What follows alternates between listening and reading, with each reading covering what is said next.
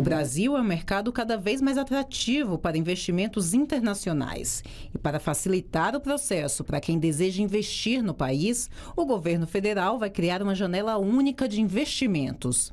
Durante o sétimo Fórum Brasil de Investimento, realizado em São Paulo, o Ministério do Desenvolvimento, Indústria, Comércio e Serviços e o Banco Interamericano de Desenvolvimento anunciaram uma parceria para desenvolvimento dessa plataforma, que vai contar com um aporte inicial de 400 mil dólares. Não tem crescimento, não tem emprego, não tem renda se não tiver investimento.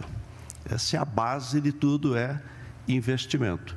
E atrair investimento. Nós precisamos atrair mais investimento para cá, investimento externo direto, para a gente poder crescer mais fortemente e de maneira sustentável. Esse modelo de plataforma já é usado em mais de 60 países e facilita a vida do investidor, porque reúne num só lugar todas as informações sobre licenças, autorizações e questões fiscais. Ao desburocratizar esse processo, o Brasil se torna mais atrativo para os investimentos estrangeiros. É um portal único, uma janela única para quem quiser investir no Brasil, ter todas as informações, ganhar tempo, desburocratizar, licenças, autorizações, parte eh, fiscal, enfim, poder atrair investimento e facilitar a vida do investidor e reduzir custos e desburocratizar. O Brasil é o terceiro destino de investimentos estrangeiros no primeiro trimestre de 2024. Terceiro. Nós estamos entrando no que eu chamo de era trilionária.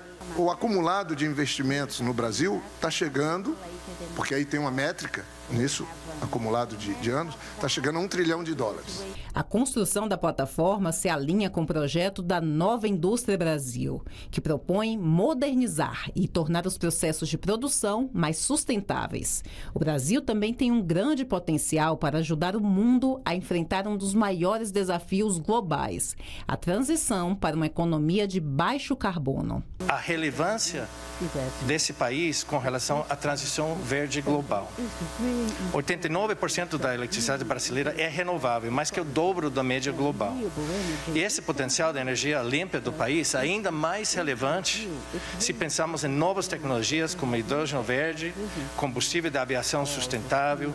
Essas são frentes que ganharam cada vez mais destaque com a aprovação, a sanção recente da Lei de Combustível do Futuro. Isso abre um enorme leque de oportunidades, por exemplo, para diminuir a pegada do carbono em cadeias de valor globais que precisam incorporar mais sustentabilidade. O Power Shoring. E Brasil é o lugar ideal para avançar nessa pauta.